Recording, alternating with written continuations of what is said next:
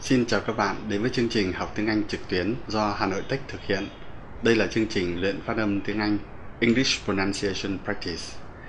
Thưa các bạn, trong thời gian vừa rồi chúng ta đã học xong 9 bài về phát âm tiếng Anh. Trong đó thì chúng ta bắt đầu bằng những cái bài ở cấp thấp nhất, tức là cấp sound về phát âm, phụ âm và nguyên âm tiếng Anh. Rồi sau đó ở cấp word là cấp từ ở cấp từ này chúng ta quan tâm đến trọng âm word stress, các cái quy tắc về trọng âm tiếng Anh. Và cao hơn nữa là cấp phrase, tức là nhóm từ. Thì ở đây chúng ta vẫn phải quan tâm đến cái word stress, trọng âm từ, và cộng với sự luyến âm. Sự luyến âm bao hàm nhiều các cái nét ngôn điệu khác nhau.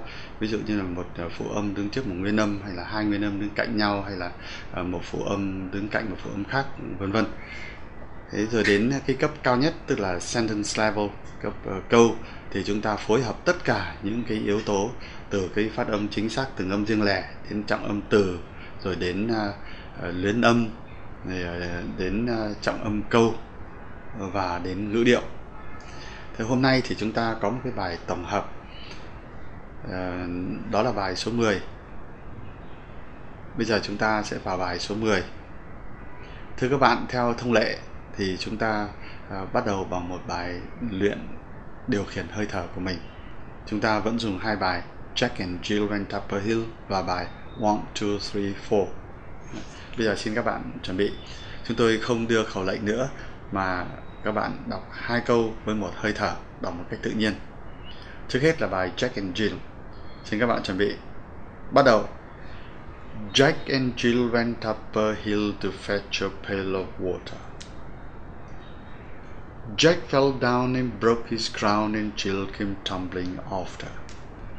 Thưa các bạn, các bạn chú ý đến cái độ xuống dốc dần của uh, các cái câu đó, của cái hơi thở và kèm theo là cái câu đó. Xin, xin mời các bạn làm lại một lần nữa. Bắt đầu từ từ đầu ạ. Bắt đầu.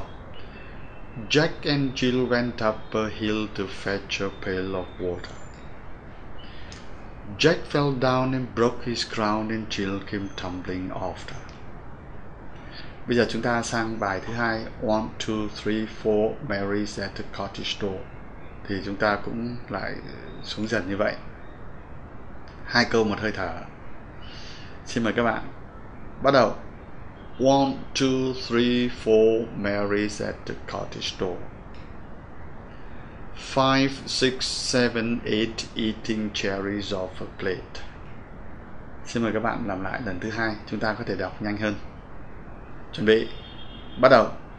One, two, three, four, Mary's at the cottage door. Five, six, seven, eight eating cherries off a plate. Xin cảm ơn các bạn. Bây giờ chúng ta vào nội dung của bài số 10. Thưa các bạn, mục đích của cái việc luyện phát âm này ấy, chúng ta không không phải là uh, là những người làm chuyên nghiệp như là các cái announcer tức là cái người mà phát thanh viên. Thế hoặc là chúng ta không phải là uh, các người uh, uh, nghệ sĩ về kịch thế vân vân. Thì với những cái nghề chuyên nghiệp ấy người ta đòi hỏi cái luyện phát âm ấy là uh, với mục đích uh, hoàn thiện cái phát âm của mình. Thế nhưng với chúng ta ấy, thì khi chúng ta học ngoại ngữ thì cái việc luyện phát âm đó uh, mục đích của chúng ta là làm sao cho khi nghe người anh nói chúng ta nhận diện ra cái lời nói của họ.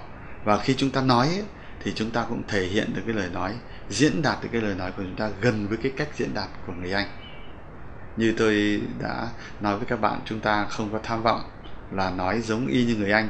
Nhất là khi chúng ta học ờ, ở trong một cái môi trường ngoài môi trường bản ngữ tức là học môi trường ngoài môi trường nước anh nước mỹ.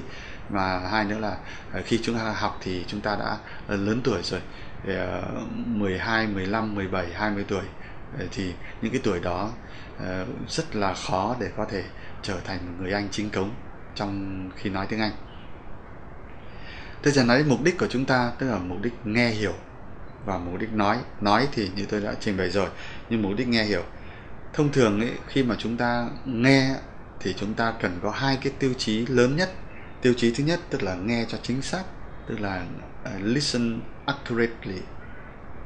Xin các bạn nhìn màn hình chữ listen accurately. Và thứ hai là cái tiêu chí thứ hai là